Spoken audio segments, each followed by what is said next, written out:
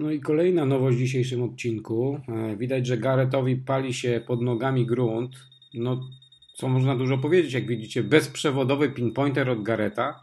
W jakim sensie? Podejrzewam, że AT-Maxy za słabo się sprzedają, w związku z tym trzeba sprzedać kolejny gadżet e, e, po prostu ludziom, żeby mogli po prostu coś wybrać z tych rzeczy. Czyli zainwestować pieniądze po prostu.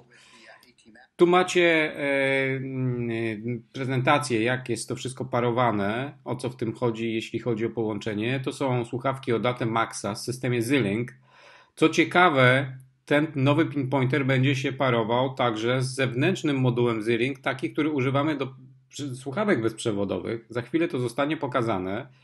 Tu jest procedura parowania, jak nacisnąć przycisk, żeby lampka się zapaliła i żebyście dźwięk pinpointera słyszeli w słuchawkach. Dla mnie to nie jest rzecz, która mnie przekonuje bo uważam, że wydawanie pieniędzy, żeby zmienić pinpointer tylko po to, żeby miał e, możliwość transmisji bezprzewodowej, no to jest bez sensu.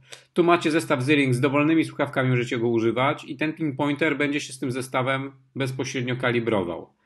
E, teraz tutaj e, firma czy człowiek, który się tym zajmuje i testuje, pokazuje dalej i tłumaczy, jak parować urządzenie taka nowość. E, nie wiem, czy to ma sens jakikolwiek dla mnie. E, do mnie to nie do końca przemawia pod tym względem, że uważam, że e, nawet jeśli cena, jeśli cena tego pinpointera będzie taka sama jak poprzednio, czyli wersji bezprzewodowej, no to wiadomo, dostajemy coś w prezencie i ok, to ma sens. Mm, dopłacanie za taką funkcję w przypadku, gdzie, gdzie sprzęt nie jest typowo sprzętem bezprzewodowym, no ok, jest, bo już ma niby słuchawki, kochani, ale to jest mocne naciąganie, po prostu ratowanie produktu za pomocą drugiego produktu. Ja to tak od razu odbieram, patrząc na to. Oczywiście jest fajnie coś mieć niż nie mieć, więc też dobrze, że Gareth takie rzeczy robi i, i, i produkuje, ale zobaczcie, został jeden przycisk i cały czas tym jednym przyciskiem miga e, latarka LED, musicie konfigurować odpowiednio te wszystkie rzeczy.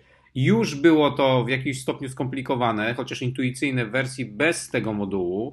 E, zmieniało się czułość albo wyłączało się lub włączało się wibracje, wyłączało dźwięk. Tutaj dochodzą nowe rzeczy.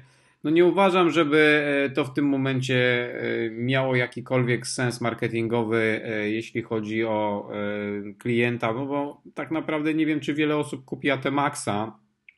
Nie wiem, czy wiele osób ma moduły z Link.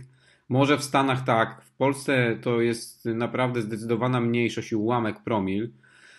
E, kwestia wszystko ceny. Oczywiście tutaj będzie jakiś test pokazywany, jak on działa na czułość i sobie radzi. Myślę, że to spokojnie można sobie przewinąć, bo to nie ma jakiegoś mniejszego e, sensu. A praca jeszcze w słonej wodzie i tak dalej.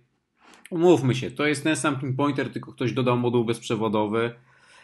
Czy to ma sens? Ja na przykład nie czuję potrzeby używania modułu bezprzewodowego, nawet jak chodzę w słuchawkach. To jest miła, miły dodatek, natomiast e, i tak czuję wibrację, i tak słyszę ten pinpointer mimo słuchawek, więc słyszenie tego dźwięku w słuchawkach, żeby, żeby te pinpointery miały możliwość, jak ktoś kiedyś powiedział, e, możliwość sygnalizowania żelaza e, i sygnalizowania koloru razem, to wtedy miałoby to może jakiś sens, bo można byłoby wybierać między obiektami w trakcie szukania. W tym momencie macie jeden sygnał i tak kopiecie wszystko. Jeśli jest gwóźdź, obok jest moneta, to musicie obie rzeczy wykopać, żeby to sprawdzić. Także e, dla mnie jest to czysty marketing. Nie uważam, że to jest jakiś dobry pomysł, no ale możecie się z tym nie zgodzić. Piszcie pod filmem, co o tym sądzicie. Łapka w górę, subskrybujcie i do usłyszenia.